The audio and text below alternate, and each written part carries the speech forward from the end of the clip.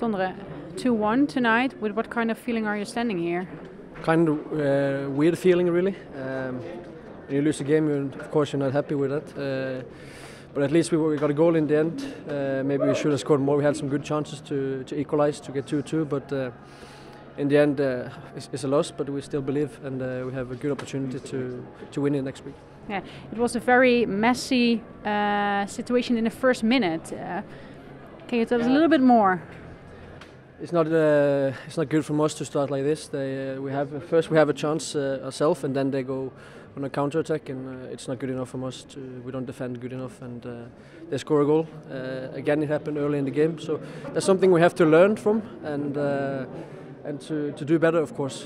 we know it, but I think today in the second half we we, we stepped up a little bit from the last couple of games. We started to play a little bit more. We created some good chances. we should have scored, of course, but in the end we still have a good chance to, to go through. Yeah, but what kind of feeling gives that that you you get you got that first goal again in yeah. Of course, it's minute. never nice, but you have to regroup and uh, try to find uh, the way a way to get into the game again. Uh, unfortunately, we didn't we didn't do enough in the first half. It was not good enough, but. As I said earlier, I think we uh, stepped a little bit up in the second half. Of course, it's not good enough what we play, but we we see a little bit of improvement, and that's important. Yeah, it looked like it looks like a different team in the in the second half. Yeah, uh, I don't know about that, but we, we, we looked better as I said, and uh, I think when we can see that we create one chance, then we try to get, create more, and then uh, eventually we get the goal. Of course, we want to too, but uh, it didn't happen in the end. So. Yeah, there was also a goal of Grbić, but it was offside. Did you saw what happened?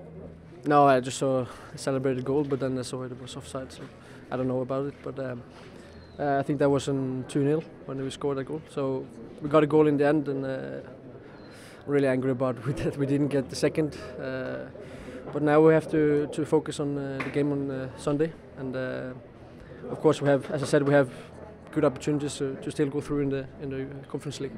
Yeah, is the confidence a little bit back? No, we, we lost again, so uh, I don't know about the confidence, but we, we see that we, we are good players. Uh, it's not about uh, that we are not good players. We have quality, and uh, as you see in the second half, we can create chances, and, uh, and we have to bring the positive sides, of course. Uh, we have to learn from the, the negative sides, how we defend and, and, concede goals, and, and work from that. The next match will be in Gelredome with supporters. How important is that? Yeah, it would be nice to finally have a full stadium. Uh, I hope everyone comes and support us. Uh, we will do everything we can to to reach uh, the next round, of course. But now uh, we have to come back and uh, focus uh, on Utrecht first. And it's a really, really important game, and we want to win football games again. it's never nice when you lose so many games in a row. But um, as, part of football, we have to stand together and uh, and find a way out.